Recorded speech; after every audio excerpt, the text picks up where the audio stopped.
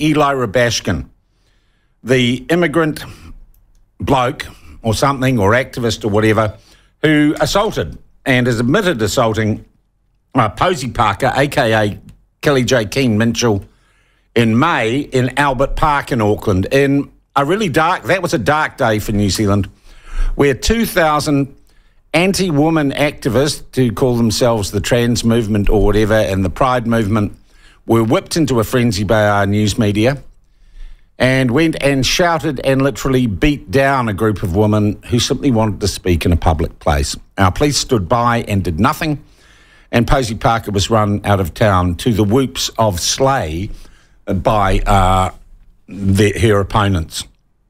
Uh, she was branded by our media a Nazi uh, and a white supremacist and anti trans. And she is, as far as I can establish, a pro woman activist. She wouldn't call herself a feminist.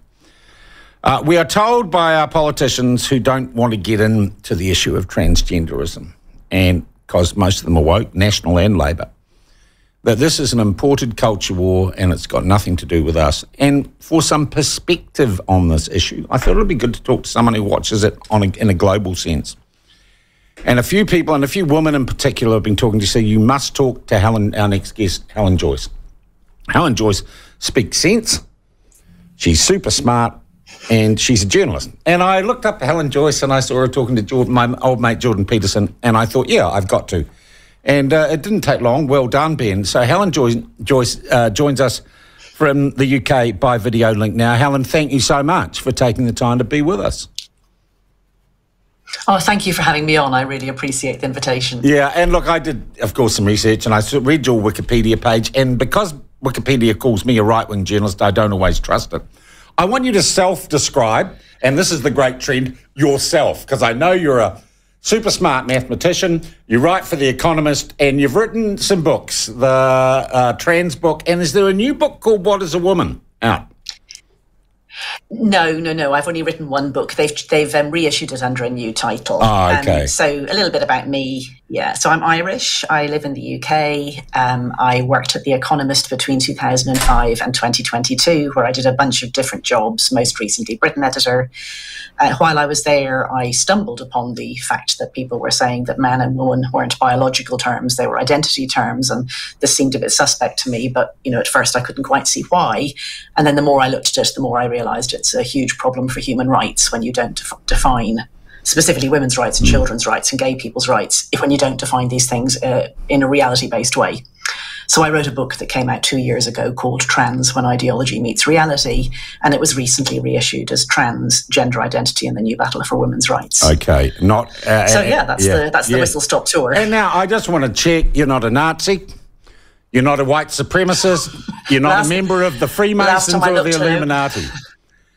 Um, because anyone no, who I just care about people's yeah, human rights. Anyone who isn't on what I call the woke side of this debate tends to get, and Kellie-Jay Keen-Minshull is a perfect example, tends to get branded with those monikers, don't they? It is the standard response from people promoting what they would call trans tolerance.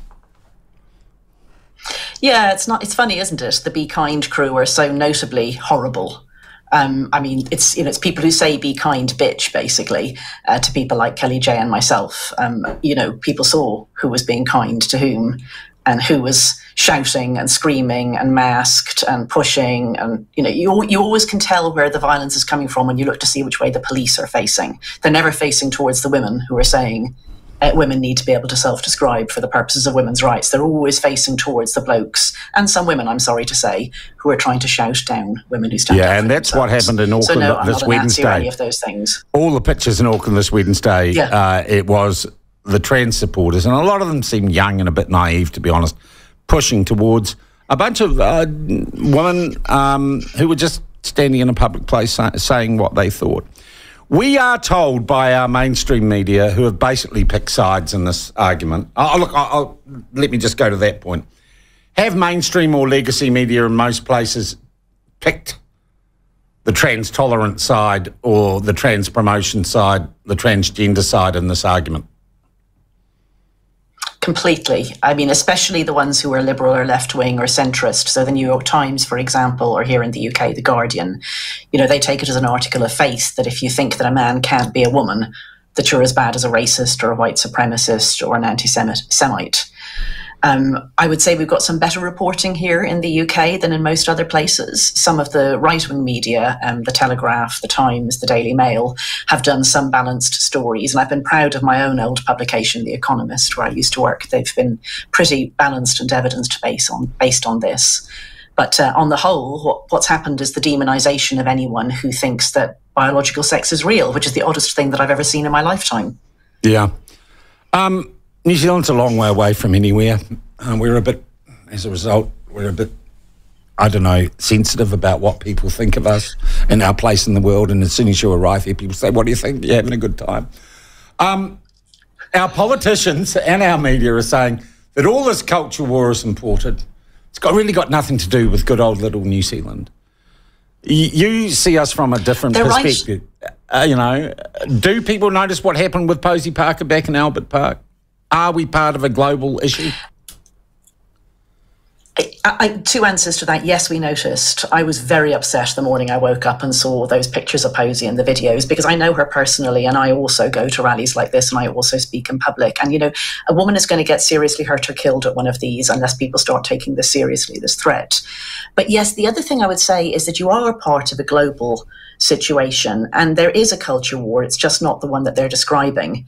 This movement is exported from America. It was created in um, East Coast America, the or East and West Coast, coastal America. It's a it's a liberal American university types who created this idea that uh, there aren't two sexes, that you are whatever sex you say you are, and they're the ones who are exporting it. And then when it lands somewhere and people say, well, look, that ruins my rights. You know, a woman has no rights if she can't say no to men when she's undressing or in a private place or, you know, mm. trying to do sports or something like that. When we say, look, that doctrine of yours is destroying my rights, that's when they call it a culture war. Well, I think they're the ones who are causing the culture war by trying to impose this incredibly unpopular and unrealistic doctrine on the rest of us. Mm. Now, it hasn't been reported here. I understand in Toronto in the last uh, 24, 48 hours, a massive protest there about what? About the teaching of this nonsense to children in schools. So, I mean, Canadian schools are insane, but it's not only them. It's happening here. It's happening in lots of American states. Um, it's happening in Australia too, and I'm guessing it's probably happening in New Zealand. That children are being taught lies about what it is to be human. There are t- only two human sexes, and you can't change your sex, and that's just a fact. Mm. Well, I'll, I'll, I'll, I'll, give you some news. Well, a story I'm working on right now. A primary school in New Zealand for the first time has issued a policy. This is a primary school, so kids up to 11 or 12 that children will be disciplined for not using correct pronouns at primary schools. Uh, I think, and someone else is doing some legwork for this, me, there is a company that writes cookie cutter policies for school boards in New Zealand because they haven't got the expertise to do it. And they have apparently written that this is what the policy should be. So we can expect to see the disciplining of primary age school children for not using the correct pronouns that I imagine is going to be spread throughout our primary education system. So children are being lied to, they're being lied about, they're being misled, and that's having direct impact on them in that boys are being told it's okay to go into the girls' toilets if they identify as girls, you know, etc., etc. You can see all the ways in which this would cause problems and put children at risk. And worse still, when it's a teacher who identifies as a member of the opposite sex and the kids are supposed to go along with that and uh, it's so it's it's very bad for all of the children in that it's destroying their you know their rights, their safety, their safeguarding. But it's also misleading children into thinking that you can change sex, and that's an idea that's attractive to a surprising number of mm. children, especially the ones who are unhappy or confused or depressed. Yeah. And so we're creating a social contagion. Canadian parents are starting to push back on this. Is what happened. Mm. Um, Look, it is a weird world we live in. I recently asked our Prime Minister what a woman was, and I don't know if you have seen his response, but it was quite inconclusive, I, I think would be the word I would use. I read it at the time. T- remind me. I, I simply said to he said, um, uh, well, that wasn't a question, gender, um, biology. Um, I hadn't expected that question, Sean. Um, and it kind of I of remember he said that he hadn't been briefed, didn't he? He hadn't been briefed. Hadn't been briefed on that one. Um, Uh, and I'll tell you what, it caused a stir here and around the world. It showed me, and I, I, I looked in his eyes as he was doing that. He was terrified of giving the, the true answer because this lobby, the He's going to keep. Yeah, the transactivist lobbyists, where do they get their power from, Helen? What is it that scares an otherwise rational man like Chris Hipkins into not being, uh, being able to answer a simple question like that? I think people get like it's road to hell is paved with good intentions type thing. Like people want to feel like they're good people. And I mean, rightly, they aren't sexist, they aren't racist, you know, they aren't homophobic or whatever. And then they, they think that this is the next step in that. And they want to be good, so they go along with it. And then it's kind of too late when they notice that it's not like those other things at all. Like to say that, you know, you shouldn't discriminate against women at work is nothing like saying you have to pretend that a man is a woman. And then when they're in too far, it turns out that these people are incredibly nasty because all they've got going for them, because they have no reality behind what they're saying at all, all they've got going for them is bullying. And so they go after you horribly.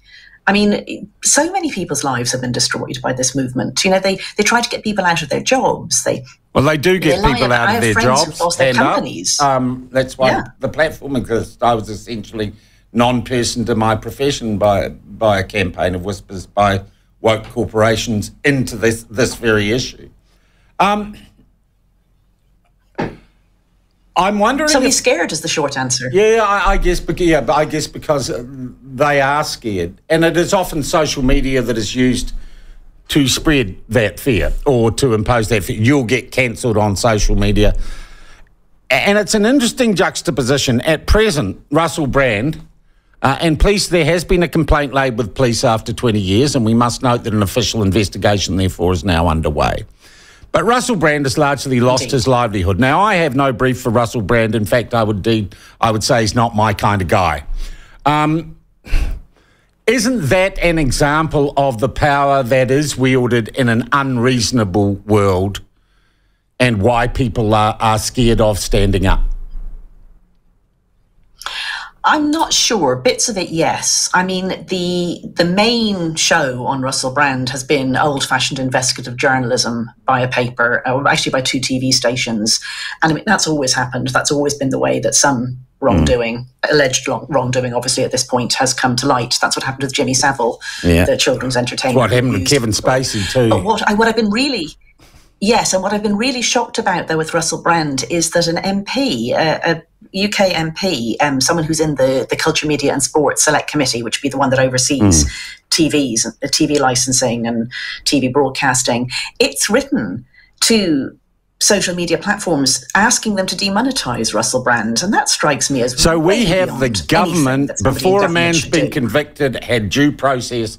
Yes. We have had a government MP saying we want you to cancel this guy. I saw this this this letter yesterday. Yeah, we also have in New Zealand. Yeah, uh, and, and, and, take his money away. And take his money away.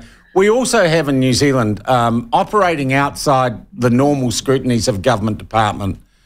We have clearly and self-declared Marxist academics creating entities through government-backed charities.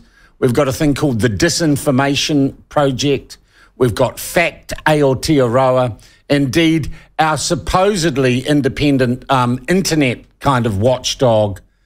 Um, and they are spending millions of taxpayers' dollars, which is hidden through charitable grants and donations from government, to create organisations which supposedly are fact checking and calling out disinformation, which are, in fact, on any assessment, running political campaigns and they're running them against people like uh, Kellie-Jay Keen.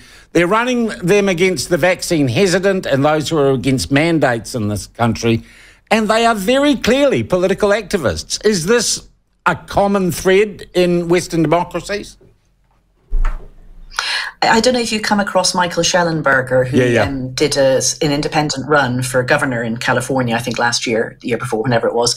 And he calls it the censorship industrial con- con- complex. And it's this weird mixture of NGOs, charities, left wing academics, and some government agencies that between them do things that look very legitimate, that are about fact checking and so on, and um, that recommend that social media platforms use their power to um, suppress people, to make their links harder to find, you know, to shadow ban them in, in the yeah, term yeah. that's sometimes used. All, all meant to be about stopping disinformation and misinformation and maybe, you know, Russian propaganda or whatever. Yeah. And then you look and you think, well, are any of you people saying there are only two sexes? Because that's my bottom line at the moment for anyone who says that they're telling the truth. Oh, but there are lots of genders, aren't there? Sexes, then you're not a truth teller. But there are a lot of genders, no, aren't there? No, no, no. I, no, either gender is the same as sex, or it just means yeah. nothing. Like, I saw no, a great sign at the Toronto March that said, "If genitalia doesn't define sex, why do you need to chop your willy off to become a woman?" Which I thought was yeah, very good question, isn't know, it? Bang on the money. Where are you talking to us from, Helen? You in uh, Ireland or or England? I'm in the UK. Okay, well, in the UK, we're in the UK. Or is that a secret location? Oh, sorry, Cambridge. Cambridge, all Cambridge. right. Okay. I also wanted to ask you, just by the by, any relation to the great Joyce family of Ireland, the writer? No, although my dad's name is James Joyce, but that was because his mum always wanted to call her son James, and then married a man called Joyce. Oh, that's a genuine. Um, I'll tell you, there's a, there's a. I am from a famous Joyce family, though, of cricketers. Oh so yes, I saw Isobel, your like all your kids in play international cricket. The the boys and the girls. It's amazing. All my siblings. I, I'm siblings. sorry, your siblings. Yeah. um, all yeah. right. I just wanted wanted to clear that up. So we have so we are being gaslit um, by our media in New Zealand to a huge extent, and by ma- our major political parties who are scared of, of, of cancel culture. And this appears to be happening around the world in Western democracies. This is not an imagining; uh, it is a real thing, and the culture war is is real. Um, my next question then is: Who is winning it? I get the feeling maybe in New Zealand, maybe because of what happened Wednesday here, um, I get the feeling the tide is turning a little. I would say that um, reality does tend to win out in the end. It's just that in the end can be an awfully long time, and an awful lot of people are harmed in the meantime. So the longer this goes on, the worse it's going to be. The more children will have been misled, the more children will be sterilized, the more women will have been harmed by losing, you know, sporting competitions or access to women-only spaces. The greater the disconnect between the elite classes of politicians and media and academics and ordinary people who just get very cross about all of this sort of stuff.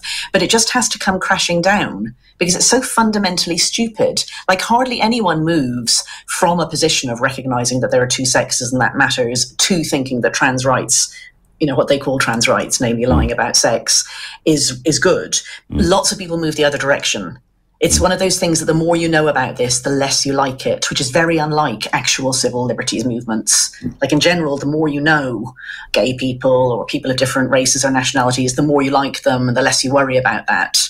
This is different. The more you realize what's happening, the more angry you get. Yeah. So it's moving that direction, but it's slow. I, I want to make a couple of ob- observations. Um, I can remember as a kid reading National Geographic or World of Wonder magazine and there were, when I look back, quite horrifying, horrifying pictures of, of customs in other countries, foot binding in Asiatic countries, right? That weird thing in Africa where they'd stretch women's necks with, um, with brass hoops around them. And I think, looking back, those were barbaric practices. Yet we seem to accept that in some, some cases, the state funded genital mutilation of people with some issues is acceptable. Irreversible mutilation of their sexual organs in their body, often through state funded surgery. How did we get there? And I really wonder for those who promote this and get angry about it, what is it that they are trying to achieve? I mean, we've been here before with medicine, with lobotomies. I mean, I don't know if you know the guy who invented the lobotomy actually got a Nobel Prize for it. And then the guy who popularized the quick way of doing it, which is through the eye socket, you just stick something in and twist it, which was easier than the thing you did before. I mean, he just went in like this circus from hospital, mental hospital to mental hospital, like doing dozens of people at a time. And it went on for years after people started to say this isn't doing anyone any good, and whistleblowers were trying to stop him and the rest. But both of those people went on to the end of their lives believing that what they did had helped because the alternative is to accept that you have done horrific harm and people don't like to accept that. So these doctors, I mean, some of them, I'm sure they're well motivated. I think some of them just want the money because there's a lot of money in this. But once you've started, you can't then very easily say, oh, you know, I was wrong. It's not the case that some children are born trans. Like children are just confused about lots of things and sometimes miserable, and sometimes that comes out in what they say about their sex. That's the truth of it. And if you sterilize them, this is not going to help. Like there's no evidence that the sorts of surgeries they do help, and lots of evidence that it harms them. But once you've done those surgeries, how can you ever admit the horrific nature of what it is that you've done? So those people just dig in, like they're just they're they're they're, they're resistant to any truth telling. All right, as we mentioned at the start, their tactic to those who oppose their, just to be honest, crazy cult-like behaviour. I'm just going to call it for what I see it their comeback yeah, is, is often you are you are right wing, you're Nazis, you're white supremacists. This is part. It's all about your politics, in you know a classic left right uh, political uh, spectrum or, or, or context. Equally, I must say, often people come back against the trans advocates, the cultists, and say you're all Marxists or communists. Are either of those criticisms valid? Do you think? I mean, there's no denying that this um, this ideology or this cult-like belief system is supported in specifically in America by the Democrats and not really the Republicans. Mm. So if you look at the world as defined by America, yeah. it's it's a liberal, as in Democrat American ideology, yeah. and it does seem to be something that being religious helps people to stand up to. I'm not religious myself, and that's not why yeah. I stand up against this. I don't think I need an excuse to say don't sterilize children, but people who are um, religious often have quite strong feelings of sacredness about the way mm. that humanity was made. I can also be a complete pain up the ass, Helen. To be frank when they say this is God's will. but I mean, at least they stand up to this. Yeah, yeah. But you can stand up to this with rational thought. It's just as powerful, and I see. I completely agree, but yeah. you know. Yeah, I mean, I, I, think that's one of the things they do is they say, "Oh, religious people agree with you, therefore you must be religious." Yeah. I mean, one of the things they often say about people like me in the UK is that we're funded by far right American money. I can tell you, I've never seen a dollar of it. Like it's a joke among the women I know. People yeah. say, "Have you got your check? Have you got your far right check yet?" You know, have the Republicans written you yeah, a check? And I've no. got to admit, here at the no, platform, we have been running almost two years, Helen. And when I set this up, because um, I couldn't get a job in the mainstream, I said I need to find someone with a bit of money to do it. It's not cheap but I chose to, I had to find someone who was in New Zealand, based in New Zealand, and was prepared to publicly say they were doing it. So we were above board. There are a number of other alt media, I suppose, alt media organisations who won't say where their funding comes, and it lays them open to that criticism. I want to know, uh, I want to ask you this quickly too. Uh, gosh, I could talk all morning to you part of the trans movement is co-opted into other trends, and our former Prime Minister Helen uh, Jacinda Ardern is very much part of this. Um, and that is that you use a fear of something to create new controls, and particularly free speech and hate speech laws are being promulgated here. And our former Prime Minister is part of a Christchurch call thing. So our government miss identified deliberately the mosque massacre in Christchurch as a terror attack. It was a lone wolf gunman, not connected to any organised terror group who had clear mental issues, though not enough under the law to him, get him committed. We made that a terror attack, and we've used that as an excuse to suggest that we need much more control over people on Facebook. We are now using, it would seem to me, the new trend is AI will destroy our society we must control what people can do on the internet. And um, Jacinda Ardern is heavily into that. That's her new job, basically. Is the trend, transgender movement part of, in your opinion, of a wider anti freedom? Or, if you like, you know, the line between fascism and communism is pretty close. is it aligned with all those other trends, and I'd say disturbing trends that we are seeing? Absolutely. I mean, one reason is because there is no truth or reality, physical reality to it, it's just words. So the only sense in which a man who says he's a woman is a woman is that he says it. And so, if you want other people to go along with it, you have to force them to say it too, and you have to stop them from saying what I just said, which is that he's still a man. So, it's a super linguistic movement, and that immediately leads you to wanting to control speech and calling it hate to speak truth. So, a woman who says a man who comes into women's bathrooms and toilets is intruding on women's spaces, that's a woman who's committing hate if the man identifies as a woman. So you straight away get yourself into, you know, controls on speech, calling it hate, passing laws. Like there's a law that's um, on it's it's going through the system in Ireland, and another one that's going to start in Scotland next year. Both of them are anti-hate speech laws. That's what they say, and they they're not, they're censorship include laws. gender they're censorship laws, but they specifically say gender identity is one of the things that's protected. Yeah, and we have had this too, and that is to be protected by certain anti discrimination laws.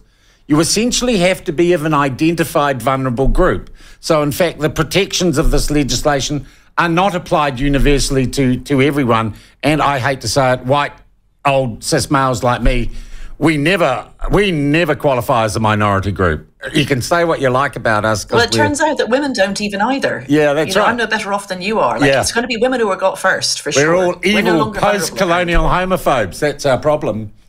Um, Helen, I could talk I mean, I to am you. post-colonial. I'm Irish.